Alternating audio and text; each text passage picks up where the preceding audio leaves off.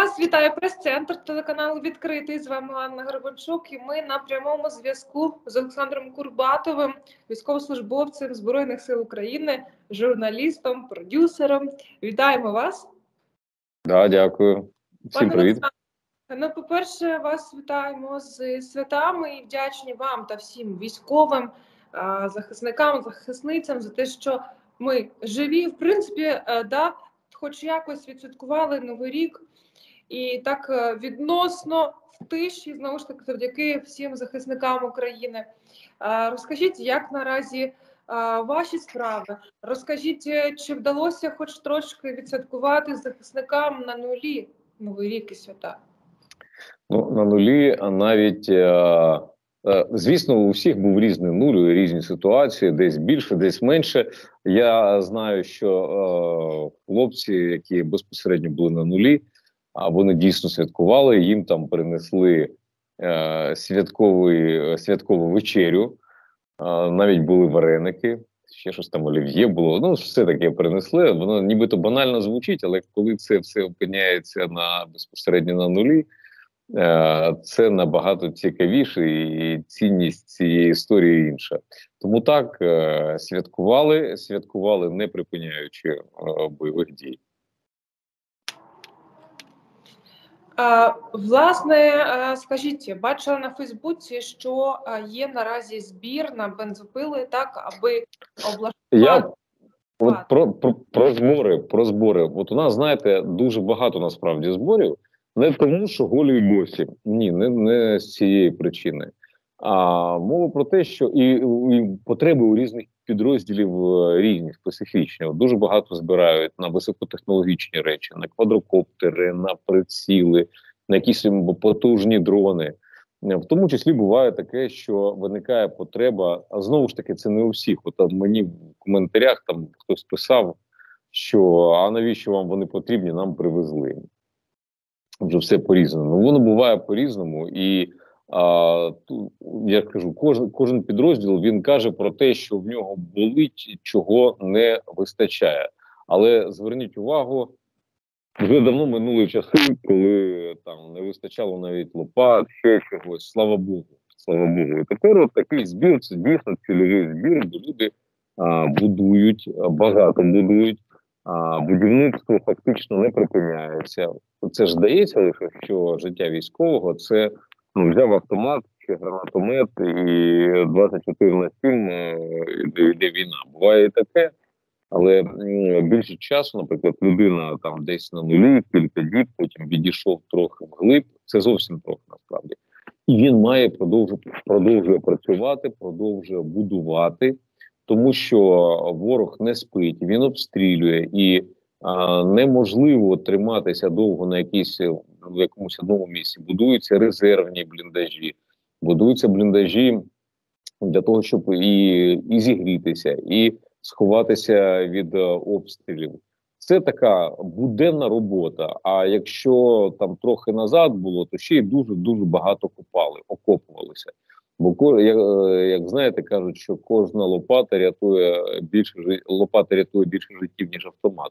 Чим е, глибше закопається боєць, чим міцніші в нього перекриття, оті величезні стовбури дерев, да вони товсті, тим е, тим більше а, шансів на те, що він виживе, і а, перемагають тільки ті, хто вижив. І от тому це дуже дуже важливо. Бійці багато будують.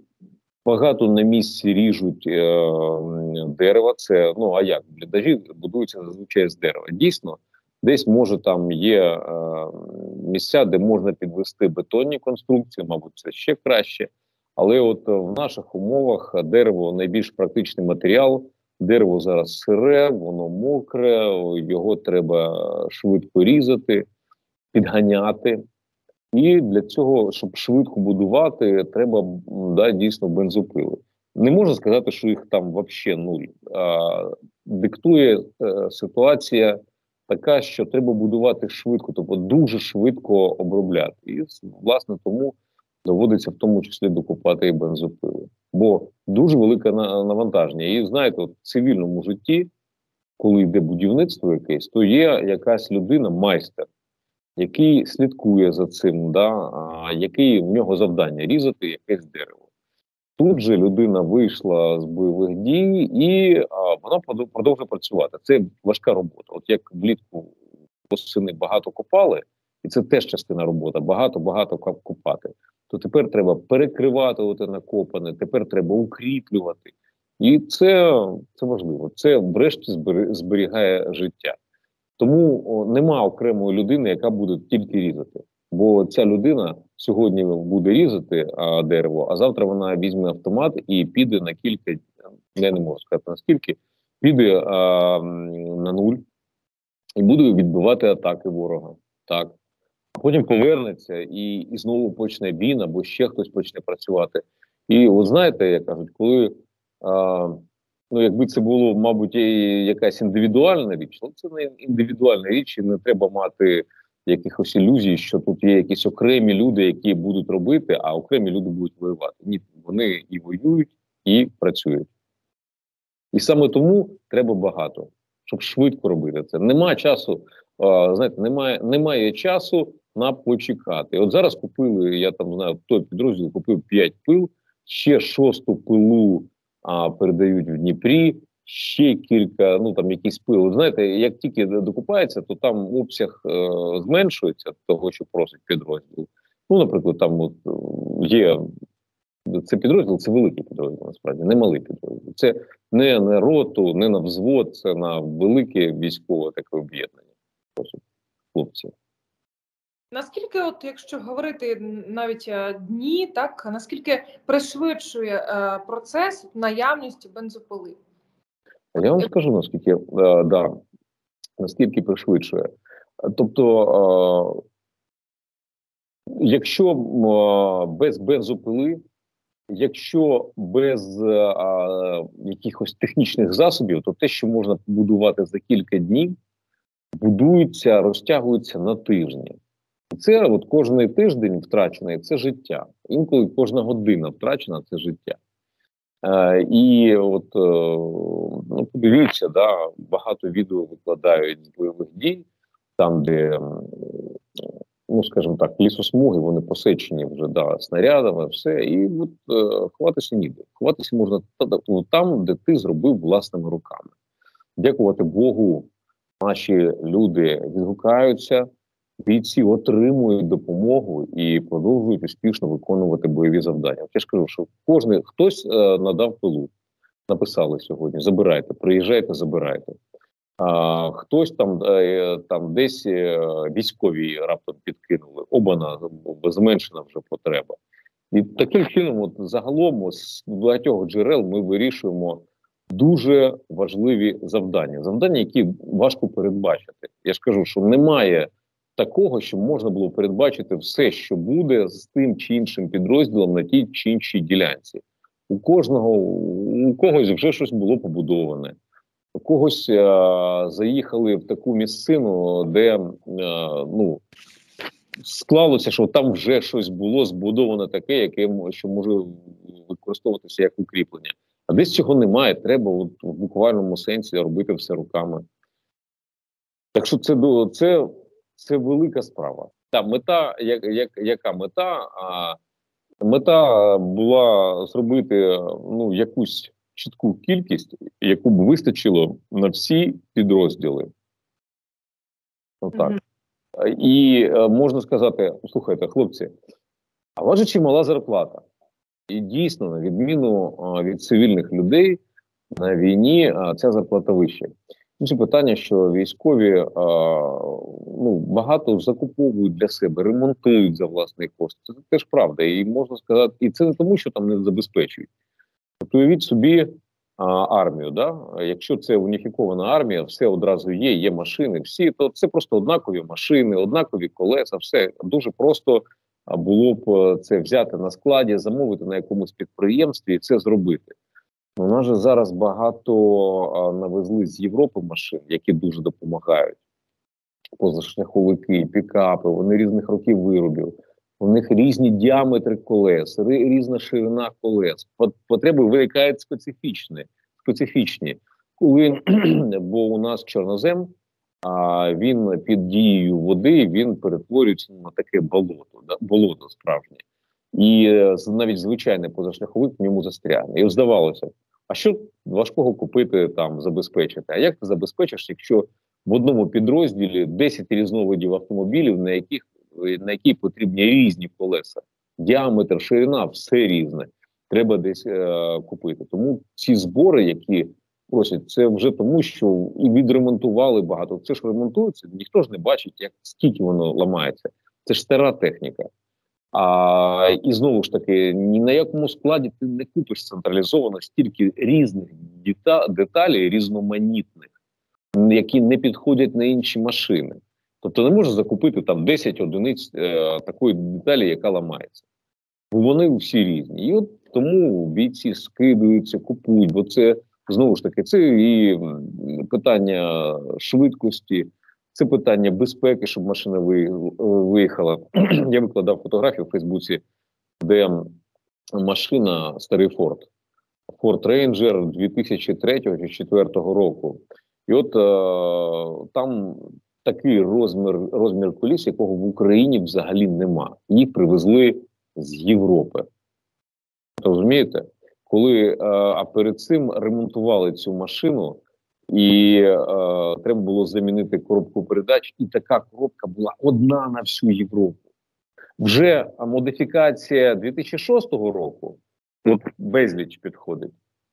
А на цю нема. Але знову ж таки е, дешевше замінити цю коробку, чим купити собі нову машину. Ми не маємо розкіші сказати, ні, ні, ні, ну заберіть.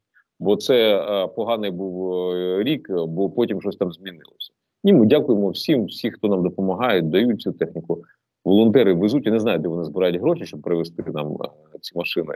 Величезна подяка, але потім за ці машини потрібно обслуговувати закупати закуповувати гуму, і коли бійці вже щось просять, це не тому, що їм шкода власних грошей, це тому, що вони вже скинулися на кілька машин, які вони відремонтували. Знову ж таки, обстріли бувають. Пробили сьогодні нове колесо. Завтра пробили е, пробити це колесо, розірвано якимось уламком, і от і що?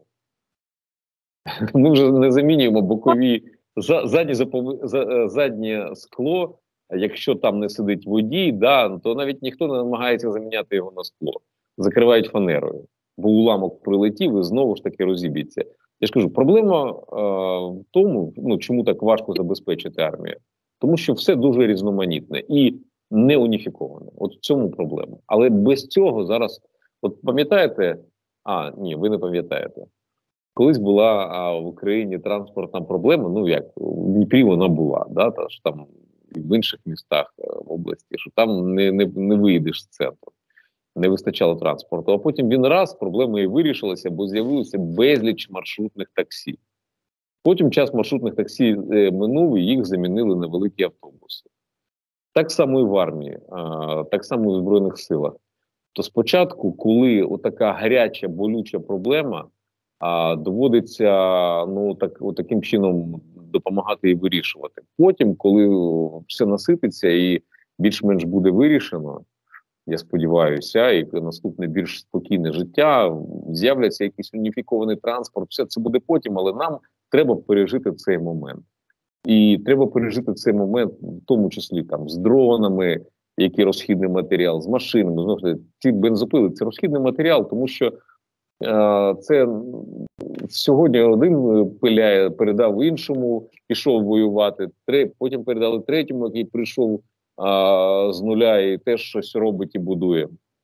В цьому в цьому історія. Тобто це розходний матеріал. Він але він допомагає нам багато, багато, багато зробити корисного і насамперед врятувати життя. Взагалі, взагалі іноді е, знаєте, мене мене трохи накриває і сумно, що е, да, деяким людям доводиться пояснювати знову і знову, чому е, так ті ж самі автівки і так далі це розхідні матеріали. Чому це і потрібно, і потрібно закуповувати? Адже ну мені здається, начебто легко уявити величезну, так величезний наш фронт, величезні потреби армії, які кожен день насправді нелегко, нелегко а насправді уявити нелегко. І до нас ну це вже хтось, от хто має досвід, є такі воєнні кореспонденти, які а, мають дозвіл сюди їздити. Да, Вони тут їздять, все, вони якось звикають, починають жити цим і розуміють. А бувають такі, які от ну мають дозвіл, у них немає дозволу рухатися там по військових частинах там. Але вони інколи приїжджають, і от вони так само буває приїжджають, але не мають досвіду життя, скажімо, да, в цих умовах. І інколи ну ми кажемо, ну ні, ну все нормально, все тихо. Ну не помічаємо навіть, що відбувається навколо. Тобто для нас це звичайний, знаєте, як як міський а, шум якийсь. А людей непідготованих це шокує. От реально шокує людей. Це ну не якісь там боягузи, все просто вони, коли потрапляють для, для них, коли змінюється оце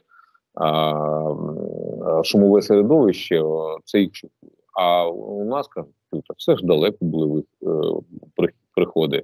Або кажуть, а це ж був не приход, а вихід, чого ви хвилюєтеся. Да?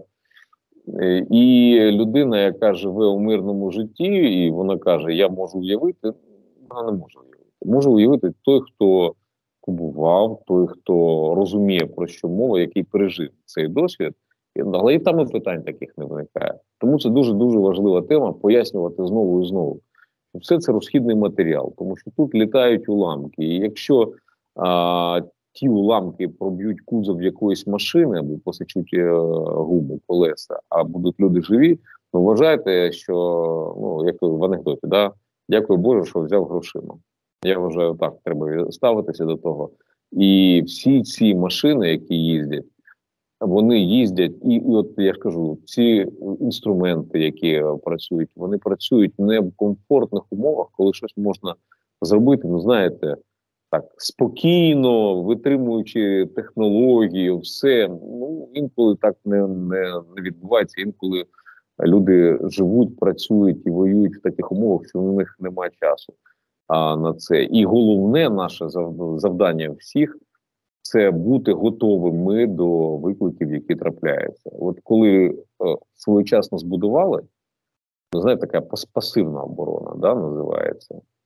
Вона не стріляє, вона просто захищає. Коли своєчасно все побудували, то якби ворог не старався, а люди живі, а позиції тримаються. А якщо цього не встигли зробити, тоді дуже дуже дуже важко. І так важко.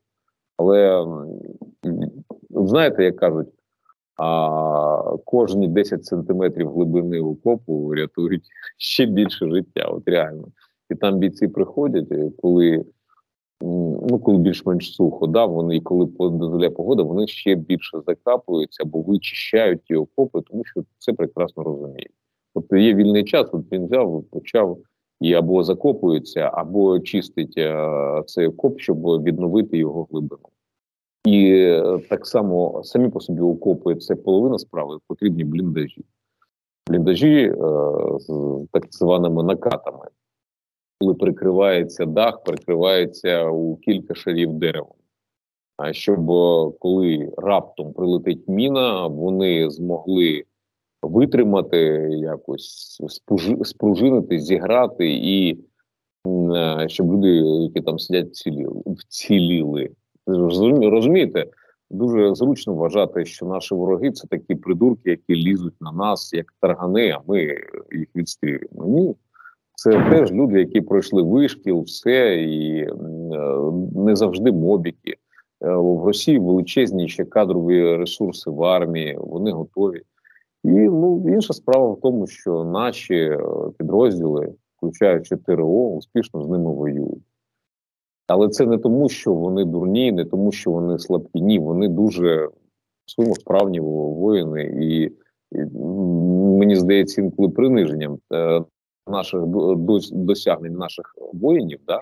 і коли ну, намагаються змалювати ворогів такими простачками-дурачками. Насправді ні. І саме тому варто цінувати те, що збро роблять Збройні Сили України.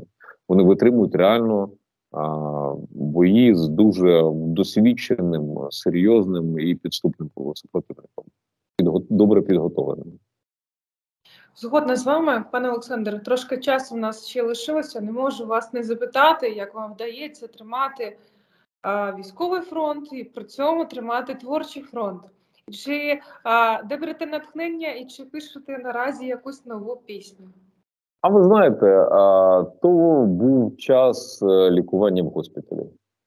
То було лікування в госпіталі, воно дало якийсь свій час в лікарні. Вже це було в лікарні, і е, побігли десь там в студію записати. А перед цим ну, приїздив на кілька, ну там по дню так приїздив, десь щось записував і відсилав дорожку якусь колегам-музикантам, а вони вже там своє писали. Потім ну як тобі? Знаєте, ситуація, пам'ятаю, ми сиділи, ми вилізли з якогось е, з-під жахливого обстрілу, а, і ну, вийшли вже там, видихнули. Ну, але все все одно там небезпечно було і сидимо. Але це вже місце не не безпосереднє зіткнення, можна вімкнути телефон. А біля Старлінку е, вімкнувся, і мені пишуть хлопці з Києва: слухай, ми тут е, звели трек, а послухай, як тобі там нормально, там бас чи ще щось. А ти думаєш, сидиш у цих ось навушничках, в них е, бас відсутній взагалі, як такий, я навіть не можу почути. Вони кажуть, ну як там, да? коли бах, бах, бах. Що це було? Я кажу, почекайте, давайте я почекаю, доки я вийду ще кудись, і я зможу там послухати, що вийшло з цього. Щось таке нове робити. І це смішно, і грішно. Да, це досить важко. Ну, Я вважаю, якщо щось вдасться, воно щось вже записано, лежить, і ми думаємо, треба щось зняти, бо так ніхто і не помітить. Е, воно вже лежить е, кілька місяців і не доходить, е, не доходить руки, тому що треба приїхати на кілька днів, організувати. От і Хлопці допомагають, але ж у них все своє таке життя, там, да, то коли я можу, вони не можуть, і так далі. Я кажу, коли приїжджаю, та що таке пішуєш? Навіщо ти давай швидше, швидше, швидше? Я кажу, бо, бо, бо я не знаю, коли буде наступний раз, коли вийдемо. Ще щось буде, але воно давно вже лежить. А треба просто додати щось, довести це до фіналу. До речі, буде третя, мабуть, чи четверта вже річниця. Пісню записали про це. А, Пісня в мене на каналі лежить е, Денні зв'язі. Да, і ми тоді написав в 2014 році. Вона довго довго лежала так само, да, напівзаписана, потім записали, і вона вийшла вже в 2018 році. І там та пісня, власне, репортаж про те, що було там. А, Буквально кожна строчка вона описує якийсь досвід. Демні зв'язі це це коли нема зв'язку, і коли хлопці, щоб відправити смс-ку, це були не смартфони, ще кнопочні більшості телефонів. Вони підкидали той телефон, щоб смс-ка улетіла. І е, не було старлінків ще, щоб дати рідним знати, що ти ще живий. Там фактично пісня, вона я не думав, чесно кажучи, що я буду сам це все заново особисто на власному досвіді це переживати. Я тоді все це сприймав як журналіст, який приїздив на місця бойових дій як волонтер. Але виявилося, що ну, я зараз е, пережив на власному досвіді всю цю історію, про яку колись написав. І буде річниця 18 рік, да, це який 23 4-5 років. 5 років вже буде. Я думав, що та вона втратила вже якусь актуальність, тому що всі стомилися від війни і вона більше не повернеться. Ну, я сподівався, але ні. Обов'язково все треба а, писати, поки є натхнення. Хочеться, пишіть, занотовуйте і надалі все зберігайте. Це також е, частина нашої культурної спадщини. Дякую вам дуже за спілкування. Бережіть себе бережіть побратимів. А ми будемо молитися за ваше здоров'я і за те, щоб поскоріше була перемога. Дякую, Дякую вам за за всім за за підтримку. Це дуже дуже дуже важливо, коли а, ви нас підтримуєте. Я нагадую, що ми спілкувалися з Олександром Курбатовим, військовослужбовцем збройних сил України, журналістом, продюсером і власне просто класною людиною і співаком. Також так дякую вам. А зараз ми перемикаємося на національний марафон. Єдині новини.